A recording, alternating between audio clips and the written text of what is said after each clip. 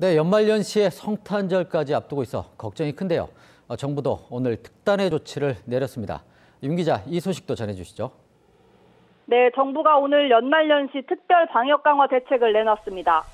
성탄절을 하루 앞둔 24일부터 새해 연휴가 끝나는 내년 1월 3일까지 전국에 똑같이 적용합니다.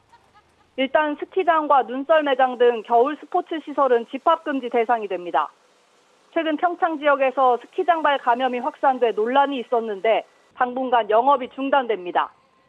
우려됐던 해맞이 관광에도 제동을 걸었습니다.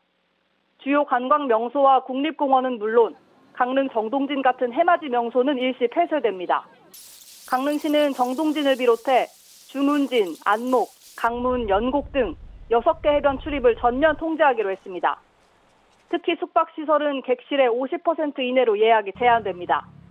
해맞이 때문에 영동 대형 숙박업소는 예약이 70% 이상 차 있었는데 기존 예약을 취소시키는 쪽으로 유도할 수밖에 없어서 다소 혼선이 예상됩니다.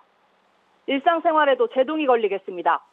5명 이상은 식당을 이용할 수 없고 사적인 모임도 제한됩니다.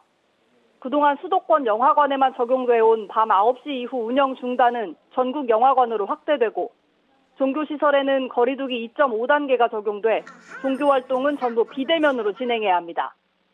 정부는 이번 조치를 거리두기 3단계 격상 전 최후 저지선으로 보고 있습니다. 지금까지 보도국에서 전해드렸습니다.